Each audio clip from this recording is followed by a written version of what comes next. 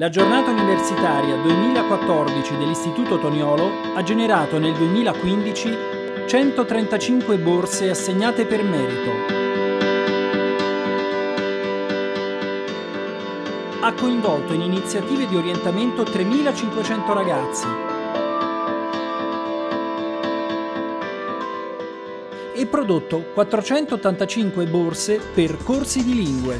La borsa è stata assegnata ad Antonio Frattini, Luigi Bisaschi, a Salvatore Piazza, a Federico Franzoni, a Cristina Vecchi, a Leonardo Paolinelli, a Francesco Regazzoli.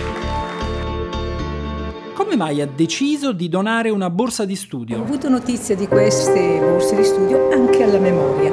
Mi si sono accese un po' di lampadine. Io mi sono laureata in cattolica anch'io con le, la media molto alta che io cercavo di tenere su, non ho mai pagato una, una lira di tasse. Quindi si sono incrociati questa, questo input del, della borsa di studio con un debito di riconoscenza, no? perché in fondo sono stata aiutata anch'io, dico aiutiamo qualcuno così ho fatto. Noi abbiamo molti amici che fa riferimento all'organizzazione del Toniolo che si sono laureati 30, 40, 50 anni fa, ma sono ancora legati alla loro università e, e cercano nel, così, in base alle loro competenze di essere ancora inclusi in questa comunità, aiutando, dando una mano.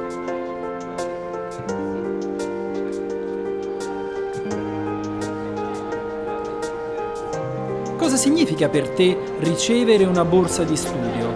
Beh, la filosofia stessa dell'istituto comunque di sostenere gli studi di, di ragazzi meritevoli è anche molto, diciamo, è da apprezzare anche quella perché se in vent'anni le risorse all'istruzione sono sempre demonite va molto conto corrente. Perché ha deciso di donare una borsa di studio?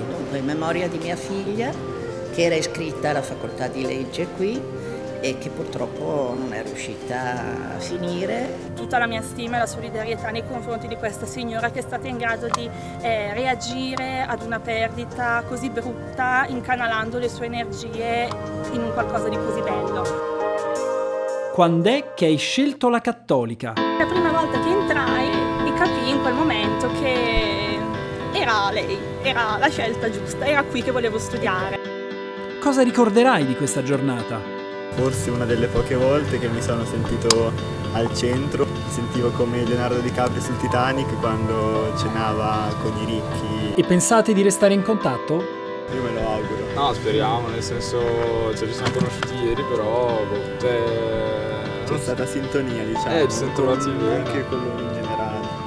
Beh, forse non vi rivedrete per un po'. Forse magari tra due anni ti sposi. Eh sì, prima devo trovare la ragazza, se no non devo dire per il momento niente.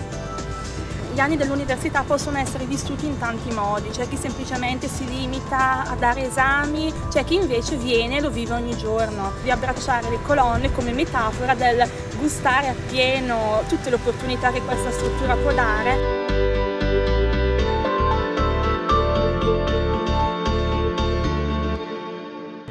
Eh,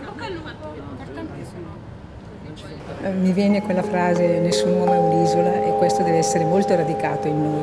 Non siamo per noi e solo per noi e neanche per il nostro piccolo mondo, ma dobbiamo avere uno sguardo molto aperto. Io sono una chiacchierona, eh? so che ride anche il suo collega.